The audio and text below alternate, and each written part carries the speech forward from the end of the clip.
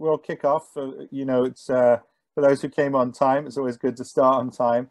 Um, my name is Michael Diamond. I'm the academic director of the Integrated Marketing and Communications Department here at the School of Professional Studies within NYU, and we work within the Division of Programs in Business. Um, I'm absolutely delighted that um, this occasion gives me a chance to welcome Tim Breuer from IBM uh, to our community. Um, Tim runs uh, communications for the IBM Cloud Data Platform uh, as the VP of Communications there. there. And uh, we all, uh, you know, I think eagerly uh, await his comments and the conversation that we'll have with him, both about the field of communications um, broadly, which is, you know, the, the purpose and goal of our programs, but also more specifically about AI and its impact and, and the position that IBM has taken. Um, this also gives me an opportunity to thank again uh, a very esteemed colleague, uh, Professor George Benaroya, who's been uh, leading these global, uh, leading global growth series of conversations, uh, who's a constant inspiration to all of us, I think, in the faculty to uh, do more for our students and, and, and really, you know, curate and nurture a very real world hands-on approach to their education, which I would like to think is a watchword of of what we do in the school more generally. But uh, my many thanks to George. And if I, I forget, or in case I forget, um, a shout out to both Patrick Brady and Robin Smith, who have worked in the background to make this a reality. So uh, without further ado, um, we are recording the event, as you know. Uh, there will be opportunities for Q&A. Uh, you know, start by using the Q&A box uh, that should be at the bottom of your screen if you're in as, a, uh, as an attendee. Um, and we will attempt to get to all the questions. And I know that George uh, has a number of students already uh, teed up to ask questions. So back to you, George, and uh, looking forward to the discussion. Super. Thank you so much, Michael. And yes, for those of you who have just joined, uh, George Benaroya. During the day, I work as a CFO. I started my career at Procter & Gamble, then Tetra Pak, Media, and now I work in private equity. Now, once per week, I get to do something I love, and that is to teach this finance class. Let me explain what's happening. You've joined a real class going on now at NYU School of Professional Studies. So we are not actually actors. And uh, what we do is, on the first session, students pick a company, any company that they want, and they pick IBM. And then they learn about finance by making one business decision each week. The first one is about headcount. How do we persuade IBM to give us more heads for marketing or communications? So what Julia did was to look at the revenue of IBM over the last two years and then the options that IBM has. Regina made a recommendation to increase the headcount uh, and she explained why, uh, you know, giving each one of the different reasons and so on. Now, the trick in this class is that there are no right or wrong numbers. What we do is we learn how to use numbers in a meaningful way to persuade others. So Georgina used the same idea of trying to get more heads for marketing, but she gave examples of different business deals that IBM had won. Today in the US and in parts of Europe, we have supply chain problems there is not enough product to sell. Now, I've been teaching this class now for two years. And uh, what Amy did when she was in that situation was to propose basically whether to choose from old clients or new clients. Now, what is interesting is that before the pandemic, the class was split. So some of them said, let's go get new clients. This is our only chance. But what you see on the right hand side is that during the pandemic last year, no one did everyone felt that we should prioritize all clients. How do you deal with inflation and price increases? This is how Gihan did. She proposed a 2% overall price increase, but in some cases it was a price decrease, and in others a price increase of 5%. How do you communicate that to clients? This is how Kristen would do it. And when you look at this letter, it looks so real that sometimes I'm tempted to call on that 914 number and see what happens. But then what do you do if clients reject the pricing rates. So we learn how to do that in class as well. And then the last part is to invite senior executives from these companies who are making the decisions in real life to tell us how they do it. So today with us is Tim Breuer, Vice President, Communications, IBM Cloud. Now, I prefer to do introductions more at a personal level. And I think what is interesting about Tim, in addition to the fact that he's a vice president, that he worked in internal communications for many years, is that when I Google his name, he has written about a variety of subjects, going back at least to 1995. I think he's been at IBM for more than 30 years, but can tell us. And so net, net, next time that I need to communicate something in a professional way, I'll just Google his name and see how he did it. Please join me to welcome Tim Breuer. Oh, thank you so much, um, uh, Michael and George and everyone joining the class today. It's a real pleasure to be joining you and talking to you about AI and IBM and the way that AI is helping to change the world and society. It's uh, my pleasure. Great. So Regina, would you like to go with your first question? So, hi team, this is Regina, and I would like to ask how is the development of AI technology accelerating social digital transformation? And how can companies make better this digital transformation post-pandemic by using hybrid uh, cloud platforms? Thank you. Thank you. That's a, a great question. And I think I'll answer it in two steps. First, what are the technical barriers that things like data management technologies and AI are helping organizations to uh, get through and to, and to achieve end outcomes, and then I can give some practical examples. So first, when you look at the technical barriers that AI is helping organizations to take on, it's really all about extracting value from data, right? That's the value that AI provides. Uh, the things that data management platforms and AI are doing are helping clients to find data. They need to manage data. They need to curate data. They need to refine it in a way in data models that will make sense. And to put that in perspective, if you think back to, for example, the Industrial Revolution, that was an era in history that was fueled by natural resources. And it's very similar. If you think about iron as an example, industry was looking to discover iron. They needed to mine it. They needed to refine it, to extract value from it. And that drove a tremendous boom for the economy. Similarly, today with data, it's the same process. AI alone doesn't work without tools that will help um, different organizations get value from that data.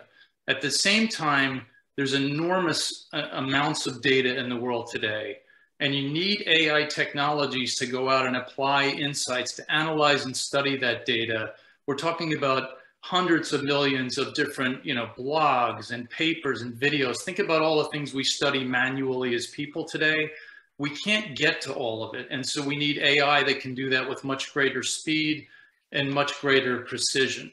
So just to give you a sense of how much data is in the world, um, just by show of hands, if we could in the class, um, I want to know if, if anyone's familiar with the market research firm IDC.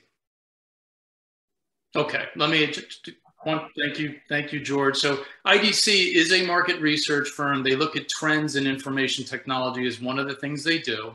They also look at uh, vendors like IBM and, and rate vendors in terms of um, their products and services, similar to Gartner and other firms like that. So IDC went out and tried to get an estimate of how much data was in the world. They did a lot of calculations and they said there's about 175 zettabytes in the world growing at an annual compound growth rate of about 61%. Now, one more time, promises the last time I asked for a show of hands, you don't have to answer the question, but does anyone in the room have any idea how much data is in one zettabyte? Good, because neither do I. I don't have a clue and I work in the IT industry. Fortunately, IDC gave a little bit more perspective. Again, just to give you a slight idea, all of us a slight idea of how much data is out there and the value that data provides. So IDC said that one zettabyte, and remember in the world, we're talking about their estimate of 175 zettabytes in the world, is the equivalent of a trillion gigabytes. And so you take that trillion, multiply it by 175, We know the average store phone recommended storage on an iPhone, I think, is about 128 gigabytes. You just get to get a slightly better sense that that's a heck of a lot of data. It's a 175 with an enormous number of zeros behind it. And to give more sense of, of how much data that is, IDC went a little bit further. They said if you took 175 zettabytes of data and stored it on Blu-ray discs and then stacked them, they'd stack from here to the moon 23 times. What do we know from that? It's just a small picture of the sheer volume of data. And we need data and AI management tools. We need AI tools and data management tools to really harness all of that data. Now, from IBM research, we know about 90% of uh, corporate data goes unanalyzed. That's due to the sheer volume. And it's because we have AI tools, and we'll get into details throughout the session here today, that can get to enormous volumes of data very accurately to understand them, to, to apply human cognition-based thinking to that data and come up with analysis. And then we know the benefits. We know the clients that use IBM's AI technologies get to data-driven predictions 50% faster, and they get about 50% of their time back due to the productivity. So I thought that was just a, a, good way to open right to talk about the ways that AI and data can help.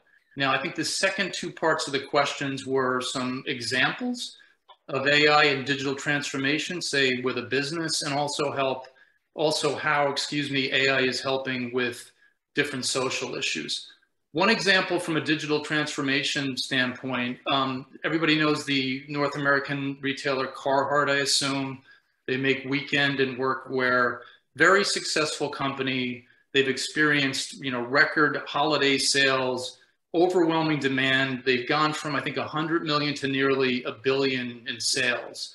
Now, with that kind of success comes growing pains. So Carhartt partnered with IBM and we developed an AI-based system to look at all that data, right, in terms of industry trends and more accurately model the demand for their products, which helps them to respond better. They're also now working with us on an AI system to help automate the replenishment of their inventory systems. And again, all of that's based on an understanding of an awful lot of data and that ability to compute those insights through AI tools at much greater speed than people alone can do that. The end result, their, their cloud systems are about 45% more efficient. So you can see the benefits there. And then finally, I think the last part of the question was around um, social issues. I think a really good example is the work that IBM and others in the industry are doing around eliminating bias in AI. And bias can creep into AI-based decision-making just as it can in, in human-based decision-making. And so IBM makes AI tools that help our clients detect and, and eliminate bias in real time as a transaction is, is happening. To give some sort of real world context for that, anytime, for example, you apply for a mortgage for a loan, or if maybe you're applying for a job at a company, there's a really good chance that there's some level of AI decision making going on behind the scenes, looking at the data, trying to help the companies make a decision. Now, to look at potential bias in AI, let's say you lived in a, in a particular part of the United States that had a zip code that was, and you were applying for a loan, say applying for a mortgage, and you're in a zip code that had a particularly high rate of defaults on mortgages. Yet at the same time, you're a really good banking customer. You paid off all your loans on time. In fact, maybe even paid off loans early. You'd want that AI decision making. You wouldn't want to default on that loan based on that one piece of data or limited data alone. So we make tools to help with that. The last thing I'd end on, I think, for this question is in terms of AI and, and, and bias really important for companies today, particularly with regulators, with clients and business partners, that they can fully explain how an AI decision was made. You know, you want transparency, you want explainability, and we offer tools to, to help with that as well. Super, I think that's a real good example. Ihan, would you like to next? Yeah. Uh, hi team, this is Yihan. Uh, I want to ask, what is IBM's core competence in AI? Thank you very much for that question. And um, as a PR person at heart, I love to talk about IBM's competency. So I really appreciate that. Look, I'd say it's all about our collective competencies in AI. That's across a number of areas where IBM helps our, our clients, governments, society with AI solutions. It's AI software, it's an AI consulting, it's an IBM research. We have the pre preeminent group of uh, you know IT researchers in the industry, our systems, and I'd also you know argue in both our software, our practices and policies around fairness in AI. You know some of the things we just talked about about making sure that AI is, is modeled in a way to eliminate bias. From an AI software standpoint, first, there's three different categories of software IBM sells. The first is something around a, a category in the industry known as natural language processing. What does that mean? It's a term in the AI industry where AI can be trained to both understand the unique language, in fact, languages of people around the world, not only what we're saying, but you think about colloquialisms and slang. You think about syntax, you know, the meaning of words, syntax, the meaning of words within a sentence. AI models need to be able to train and understand those different elements of language to be able to then apply cognitive like abilities to make decisions based on it. But at the same time, they need to be able to understand the unique language of business. So if you think about, we all take for granted if we're dealing with a bank, we know what interest means, even though interest has multiple meanings. If you're dealing with a healthcare provider, the word premium is very specific. Needs to be able to understand that.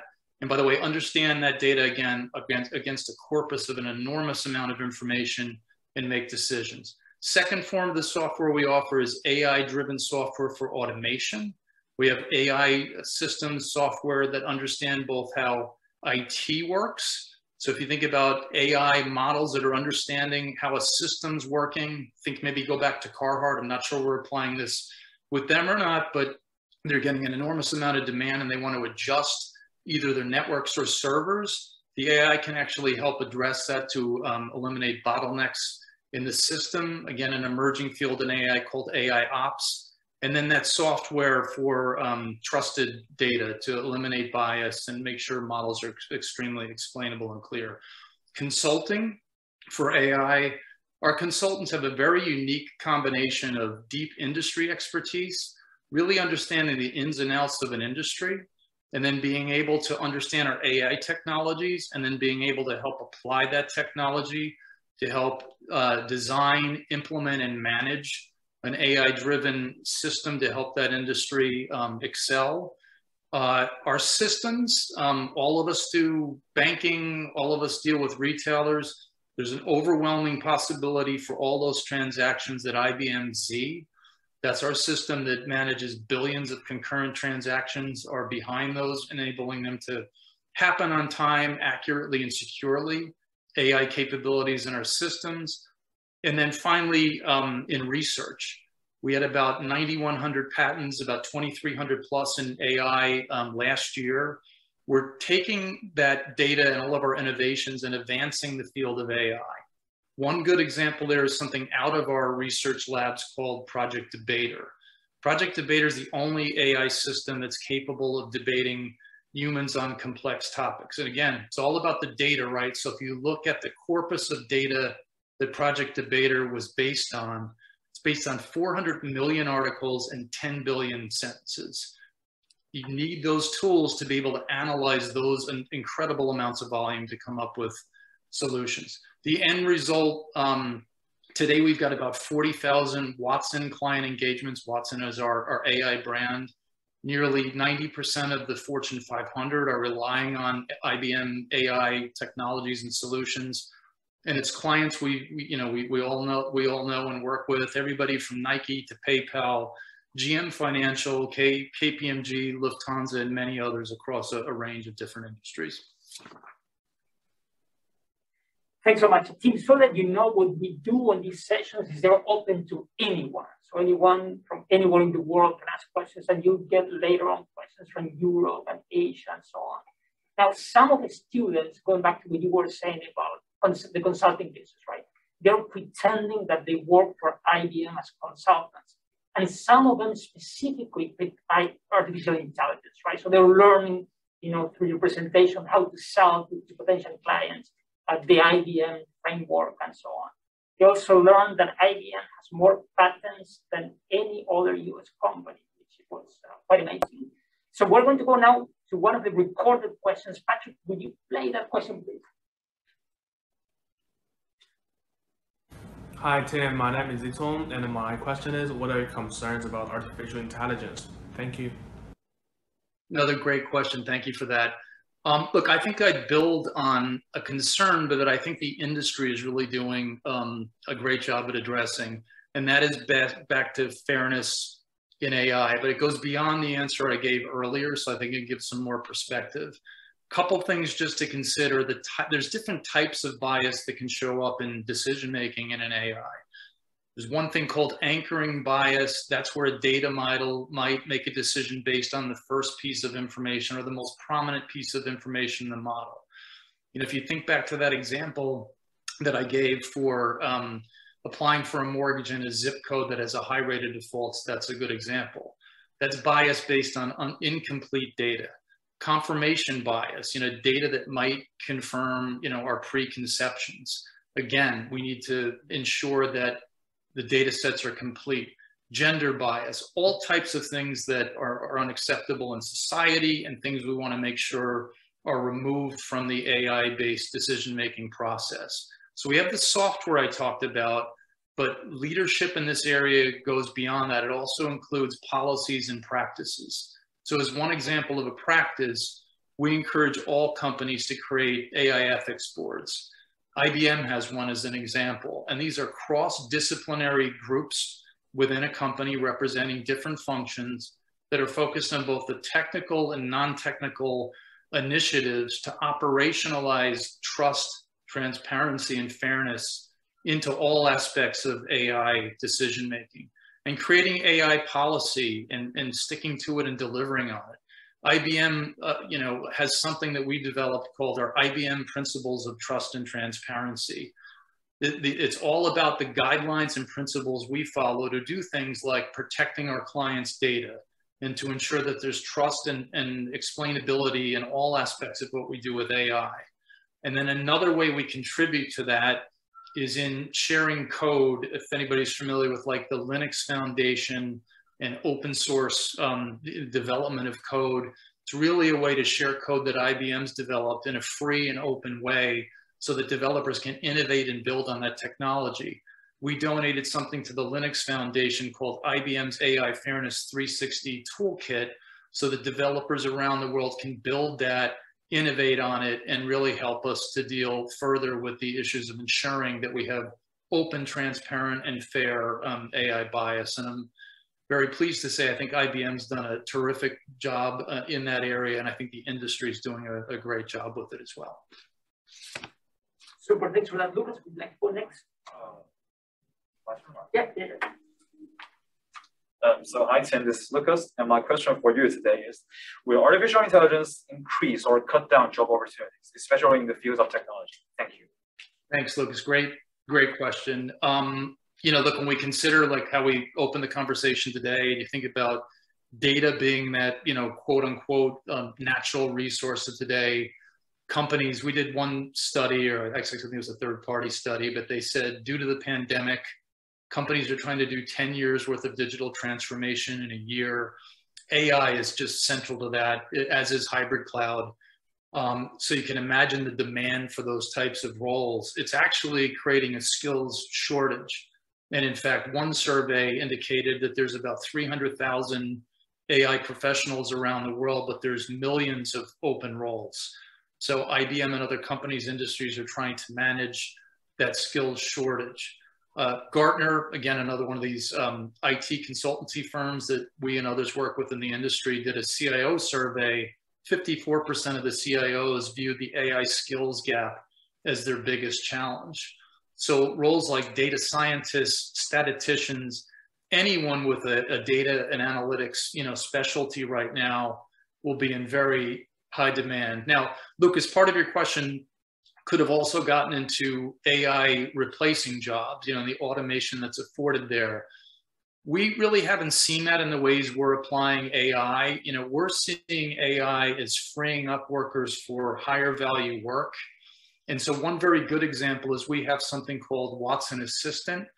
It uses AI as an intelligent agent to help with customer service in a variety of industries. We work with CVS, and CVS is using Watson Assistant to and handle you know, literally millions of calls that are coming in on COVID-19. And you can think about the vaccine, questions on systems, you know, how, how do I get, you know, registered to make sure that I've got my vaccine credentials. All of those things are coming in. Watson Assistant's able to handle a lot of those questions. What does that do? It frees up uh, the CVS uh, staff uh, to handle the, the most complex and complicated questions that are coming in. So that's uh, a, a, quick view of um, what we're seeing in the, the job market there. Yeah, and I suppose that's uh, a very popular concern, right? So I'm glad that, that you spoke about it. Now, one of the other things that we try to do in the class is to see what we can learn from others. And my next question will be about what can we learn from China. But then, Patrick, you could play that video with two examples of things which are interesting.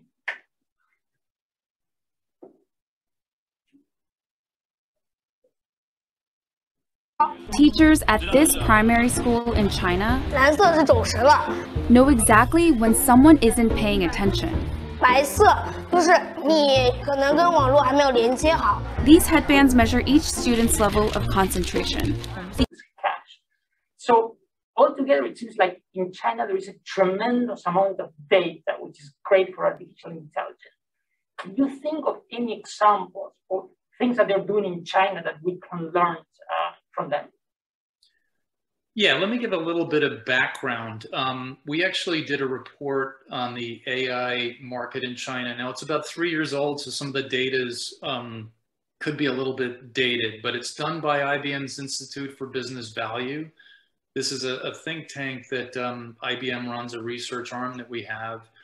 And it talked about China's aspirations within AI. Um, a little bit of background on it. It estimated that um, the China would be a $150 billion AI industry by the end of this decade. Um, China holds about 20% of the global data. Again, thinking back to um, data as that you know next natural resource. There's a tremendous amount of value there, and they, um, at least in 2018, during the report, I to check the latest data, but held the second number of AI uh, patents compared to uh, you know, other nations. So those are, you know, some tremendous um, attributes to have. By the way, the survey was done with about 500 executives in China across um, 18 industries. What we saw from the report um, was that they're taking a lot of the same actions that other nations are, uh, trying to address the skills shortage, which is, you know, something we talked about earlier. They're seeing the value of AI in things like customer service and automation. And of course, excuse me, a lot of the things that are happening um, with AI and IT in general are supported by several national agendas um, in, in China. Uh, when we looked at our IBM survey, just to give a few more senses of the things that they're looking to do with AI, so the top value drivers of AI were things like customer retention improvement, um, revenue growth for shorter sales cycles, you know, using AI to better target clients to drive better customer satisfaction, um, customer acquisition and cost reduction and speed to market. So a lot of focus there on AI systems to drive greater efficiency, faster predictions, and things like that. Um, hold on one second.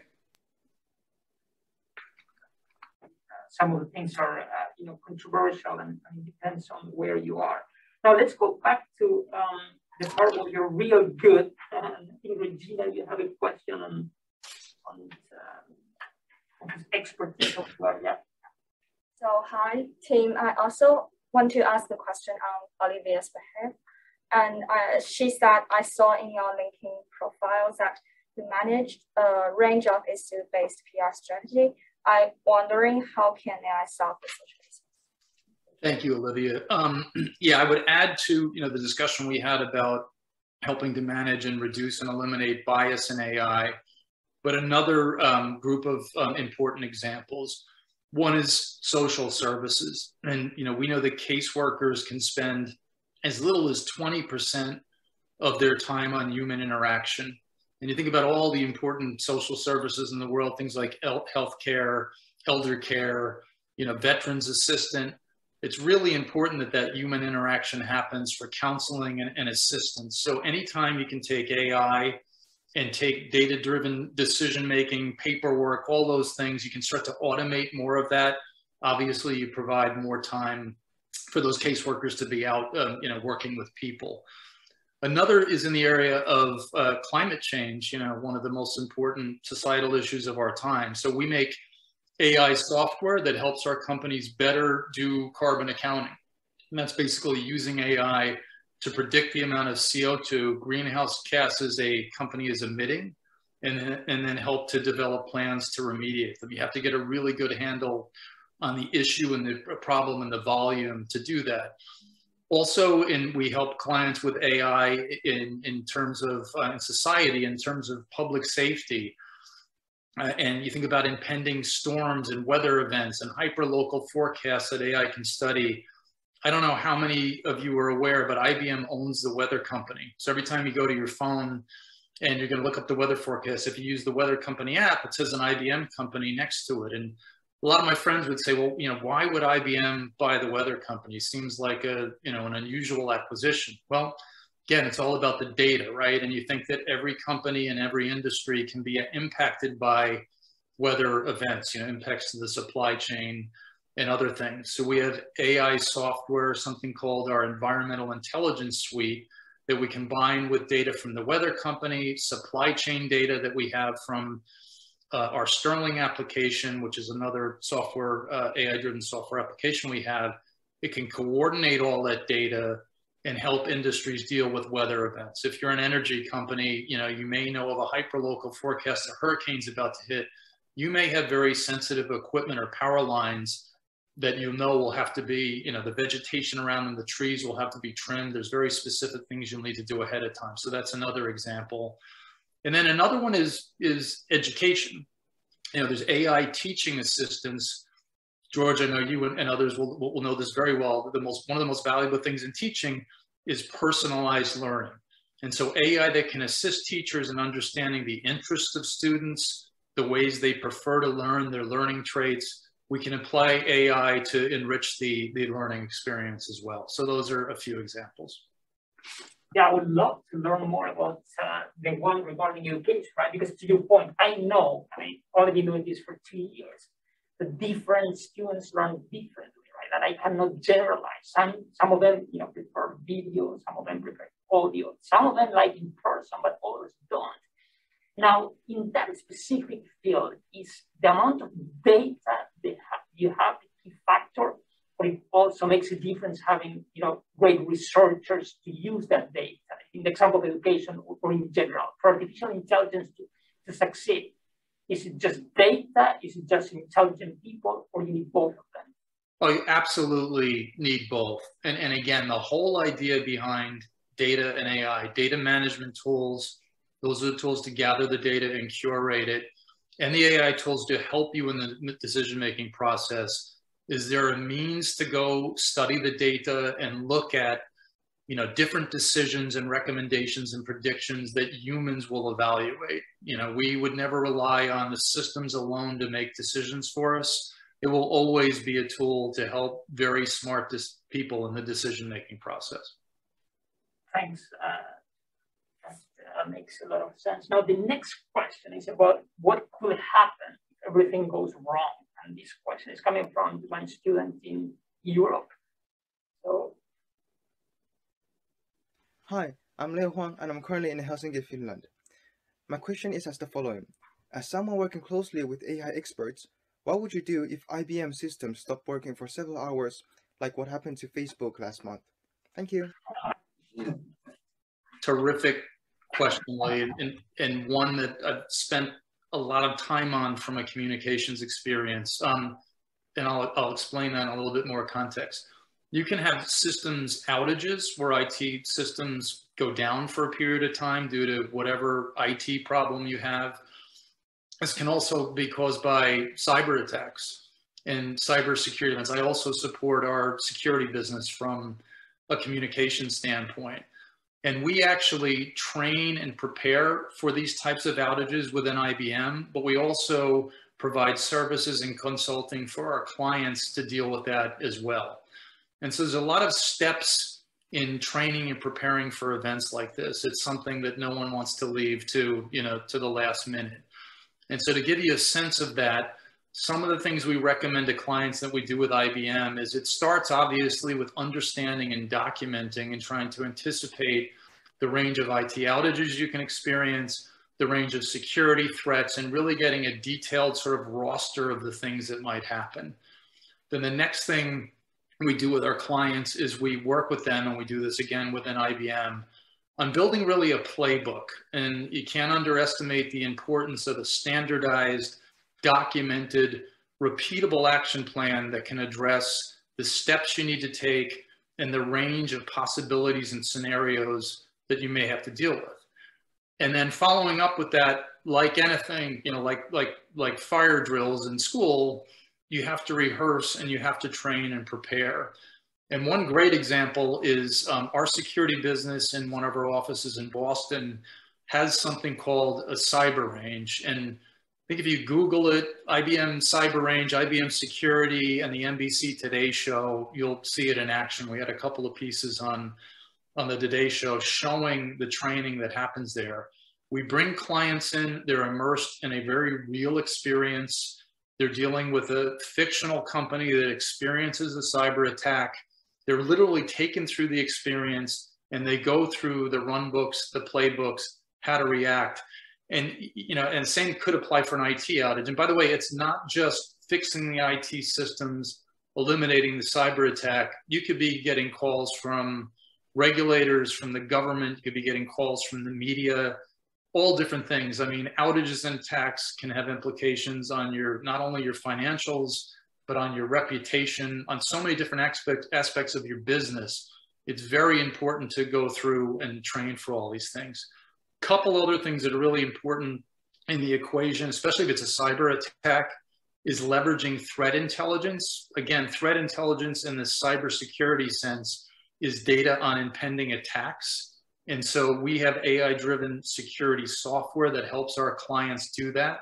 And being able to root out what's real and a false positive is very important. Our software does that.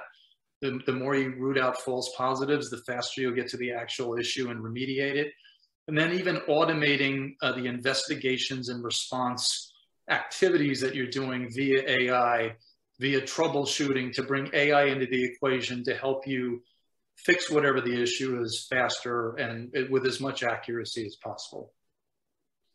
Thank you. Yeah. So hi, Tim, So for this question, I want to ask, so for people who are working in communications, how much of their work relates to clients or external um, stakeholders compared to employees? Thank you. Great question. Um, we've got a number of disciplines within IBM Communications, and we've got departments that both uh, specialize in employee communications and in social media, and of course with traditional media. I think from these classes, you've heard that we're managing communications by campaigns. And so that's really trying to get a consistent, coordinated message across five of the things that are most important to IBM. One of them is AI. I know you've heard from Kaveri and the other campaign leaders. Kaveri manages the and leads the hybrid cloud campaign. So we're not as focused on the ratio. I think it's probably equal in reaching all audiences. But what we want to do is ensure we're getting consistent messages to, to all audiences. What we do, by the way, and I apologize if this has been covered in previous classes, but in the campaigns is we're trying to mix both thought leadership. So you can think about things like surveys that we do that market some of the problems we're, we're, we're solving, say in AI, some of the issues our clients are dealing with. So we have data. You can think about bylines and op-eds. We pitch feature stories to the media, speaking engagements, driving that thought leadership as a narrative that connects the dots between the products and services announcements we make to the press, to employees, and to our business partners. So the most important thing with all of those issues is being able to be on the same page, consistent messaging, delivering what I'd call fact-based arguments, and all of that very equally valued skills within our company in terms of how to reach employees, the media, and a range of other um, constituents um, outside of IBM as well. Thanks, Steve. Amanda, next. Hello, Tim. This is Amanda, and I'll be asking a question on behalf of Ziqi Zhang. So the question is, what effective strategies have you applied for internal communications, including alignment with employees during business updates? Thank you. Thank you. Great, great question. Look, as I mentioned, we manage IBM communications by campaigns. I've always said that if employees don't understand our strategy, they don't understand our differentiation in the market, our value proposition, our campaigns have failed. And I think it can make the argument that our most important um, audience is employees. So employee communications is very, very important what we need and what I think we deliver is an effective mix of channels and tactics. I think the key is that the days of one-way communication are over. I think you can argue that virtually every employee communications tactic um, a company undertakes is social. And that's a very good thing because that dialogue and conversation is so much more, more valuable than one-way communication. And so whether that's corporate blogs, videos, town halls, AMAs, all social, even the emails we send out, they'll typically link to a blog or a video. But if they're sent to many people, there's room either to comment in another blog or even back and forth in the email. So that gives us feedback. It gives us a, it gives us a, an opportunity for discussion, which is critical. We can respond to that feedback. If our employees don't understand an element of our strategy or our policy or a product, it enables us that feedback to answer them directly, socially, so more one-on-one personalized communication. But of course, it also enables us to adjust our communications messaging to employees and adjust our tactics. Again, our senior AMAs are a great example.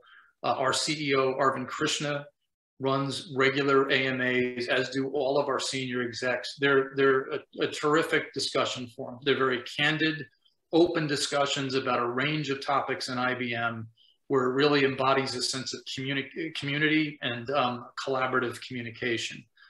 The other critical things with, with employee communications is we measure and adjust our employee communications just as we do, for example, with what we do with, um, with the media and with PR. And so we'll use measurements, things like reach or reaching the right employees, volume, key message pull through, that enables us again to go back and evaluate our results and adjust our, our messaging, adjust our programs um, to make sure that um, they're as effective as possible. One example now would be something that's called our Spotlight on AI. This is a web-based experience for all 250,000 IBM employees. We rotate these through some of our campaigns so our employees really get a sense of what's happening in key parts of our companies like AI, it's a series of um, very easy to digest, very social, lots of commentary going on, programs that, that have everything from videos to charts to graphs to blogs, talking about IBM's AI strategy, our products, dissecting you know, the value we provide to a client and a win, really trying to get into the aspects of how AI made one of our clients more productive, looking at um, our AI policy and how that's changing things in the world for the better and things like the future of AI, you know, what the things that our research labs are doing and what may happen in the future. And so we think that's a really important way to ensure that we're using the right sorts of employee, employee tactics and programs to make sure that our employees are both very up to speed on what we're doing, motivated and feel rewarded and proud of the work that um, IBM is doing. Thanks, Tim. And now I think we have a question about a real life example, right, Patrick? Yeah. Yeah, there we go. Hi team, this is Qian. Uh, my question for you is, could you give a real life example about when communication solve a crisis? Thank you.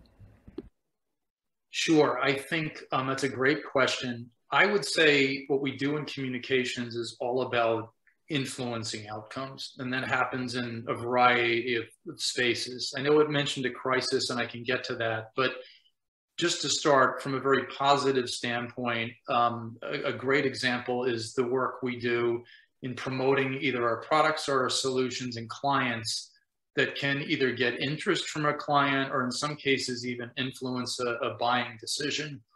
And so we, we know at times that our sales teams will come to us and they'll say, my client read a particular story or they watched a particular broadcast segment. They were very intrigued by what we were talking about, either in the services our people provide or in the, the benefits that our, our products can afford. And then they'll even come back to us at times and say, our solutions really, you know, our, our excuse me, our media coverage or press actually led to and helped influence that decision. I think there's no greater um, feeling when you're in communications in, in, any company when you know you're helping to help a client, helping our sales team, and drive revenue. A very good example, by the way, as I mentioned, um, our security business. We have some of the preeminent cybersecurity experts in the world. We've done a lot of work to get them on broadcast TV. I mentioned the Today Show earlier, places like CNBC and Fox Business when I meet with our the heads of our sales teams for security, they tell me they take clips of our experts on TV and they bring them to clients. And they'll talk about some of the complex issues that our security experts are talking about. Maybe it's the latest ransomware attack and what companies need to do to think about defending themselves against that or the actions they should take if they're impacted by a ransomware attack and what to do about it. And they'll tell them that this is the caliber of people that you'll work with. In fact, you can even work with the person that we just had in broadcast. And that really helps with sales. We do, um, to the earlier point in the question, deal with a lot of issues-based PR. As I mentioned, every company deals with issues. The biggest way we can help with that is by getting IBM's position out, you know, fact-based, very, you know, articulate examples of, of what IBM is dealing with and IBM's, you know, uh, the way IBM is handling a given issue. And by the way, I'd also say in, in like helping with outcomes and influencing outcomes in IBM, I think communications plays a really key role in bringing key teams together. You think about our strategy team, our product development teams, marketing, legal, and others, where we help shape and agree on not only the story we're telling, but sometimes even our strategy in terms of the way we'll, you know, take a market to product and um, and the way we'll, you know, the overall story we'll tell. So a lot of work um, in terms of influencing, you know, outcomes within communications. Thanks, Tim. So we have three questions about career and, you know, when you guys in communications do, and I also see some questions are coming up from the um, from the Q&A. So let's go with these three questions first. Patrick, can you take the first one? Then we go to the other ones. Hi team, this is Xing Yu and I'm asking, what does someone do in communications? At IBM Cloud and Data, what is the specific role of communications?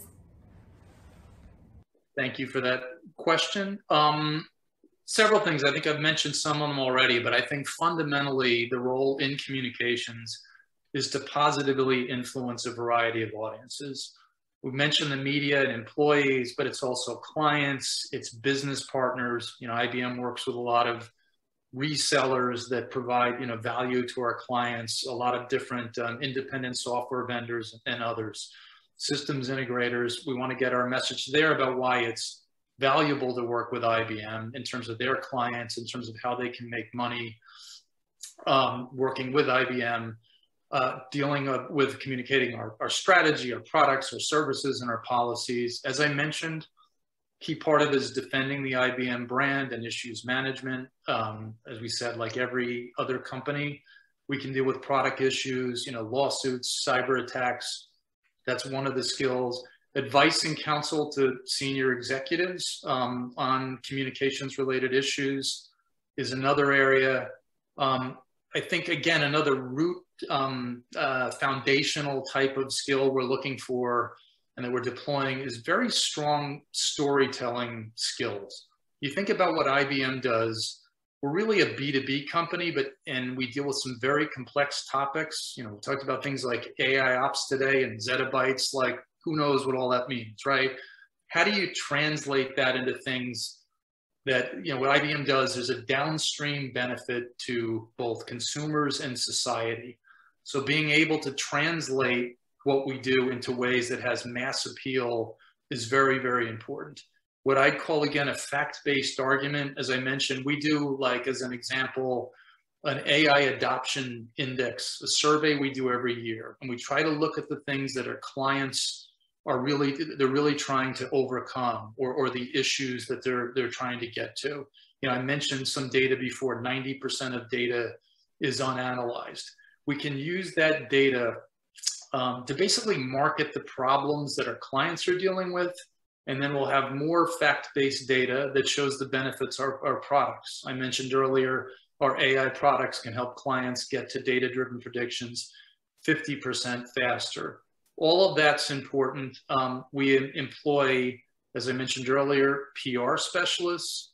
We have social media strategists and specialists, speech writers, employee communications specialists. In terms of what I do in, in, um, in data, in our data and cloud platform business, that's IBM's software business. So it's really in communicating the role that our software plays. It has heavy AI components as well as um, components for hybrid cloud. My role is really to ensure we've got a cohesive strategy across our outreach to all audiences. I have people on my teams that work on our you know PR work. We work on employee communications. It's to advise our senior executives. And my primary role, the way we're organizing the company now, is as the leader of our AI campaign. And so one example is we have regular calls with our communications professionals around the world to talk about what's coming up, to talk about what we need to focus on, and to help with any issues that may be arising in, in communications for AI across the company. Thanks, Steve. That's helpful. Yeah, that's cool.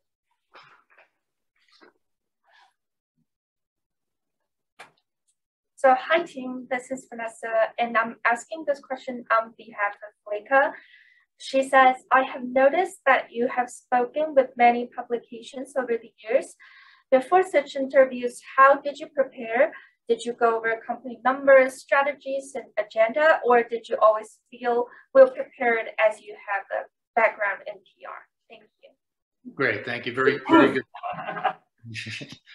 very, very good question. Um, it's both. Uh, when, when I think back to the question, there's a base level of PR skills, you know, we have on the team. Most of the people that, uh, all of the people we bring in usually have a background in a degree in either communications, public relations, a lot of the disciplines that we mentioned earlier. So that's sort of the foundation that our employees work on. But there's an enormous amount of preparation that goes into, uh, you know, dealing with a media interview in getting our executives and our experts prepared for media interviews and when we speak with the media on a variety of topics. And so what's really important is the work that leads up to an announcement with issues management, with all the things we may want to communicate um, to the media. So we work with a variety of departments. We work with business development, you know, we work with marketing, we work with legal on the development of materials to help us prepare for that interaction. And that's things you'd think about like, you know, press releases and the story we want to help share with the media. It's also in Q's and A's. You know, we want to anticipate any Q&A that could be asked to make sure that we have very thoughtful answers for the variety of, of questions that we may have. And I think as a result of that, um, we're, we're fairly, you know, well prepared as we, we come into that, into those different types of situations and again, I think it's those skills. And one of the good things about IBM is if there's a given topic area, and I have worked in many different areas within IBM, we bring people in, you have the, the press skills, you have the communication skills. We give them the, you know, we afford them the opportunity to learn the job, you know, getting them with the right people, getting them with the right experts, studying the right materials ahead of time. And so there's a little bit of on the job training there to understand the business. And you know we won't start someone off with you know the most complex announcement or the most difficult issue. We sort of help them graduate uh, as they move along through the process. Thanks tim. And uh, the last question is from melody hi tim my name is melody na and i was impressed when i saw your linkedin profile that you have been serving for both the ibm financial services and IBM System Business as a communicator and PR director. So I was wondering how you have been learning all those informations because I believe uh, the media coverage are different for both finance services and cloud platforms.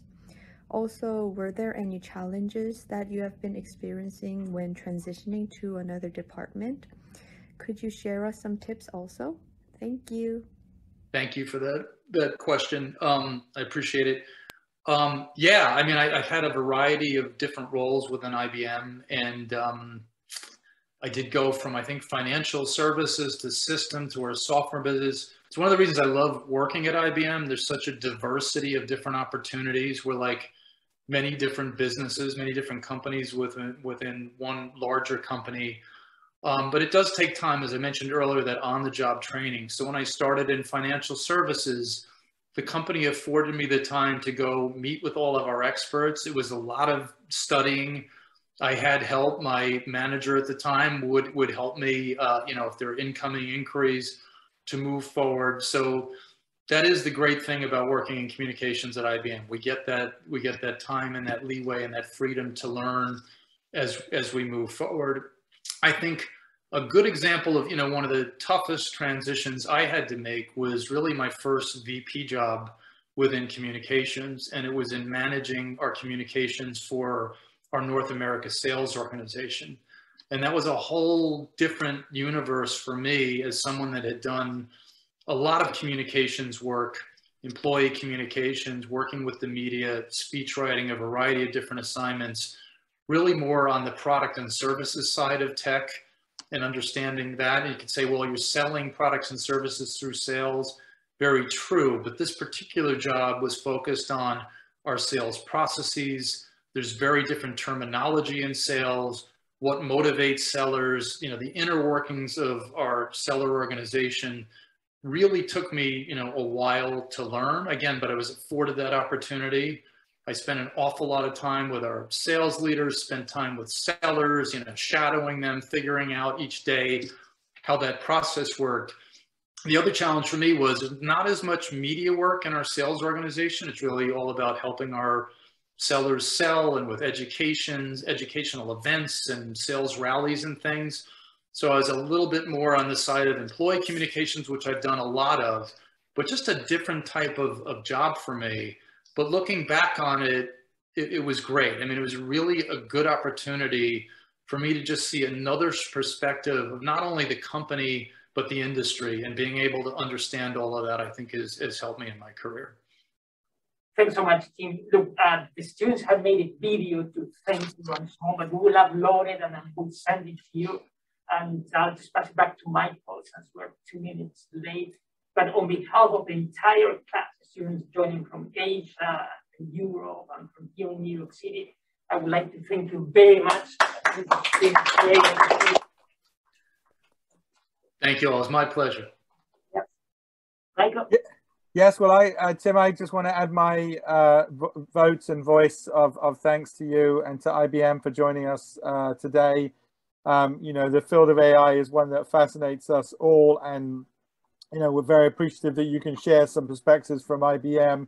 And I was taking copious notes and learned a lot, and uh, also, you know, sharing some aspects of what you do as a senior communicator in that field, which is, you know, the types of roles that many of our students aspire to. So I just want to thank you uh, wholeheartedly on behalf of all of us at uh, School of Professional Studies here at NYU. So uh, look forward to having you back uh, in the classrooms or, you know, uh, chatting about uh, opportunities for our students. So. Thank you, Michael. Much appreciated.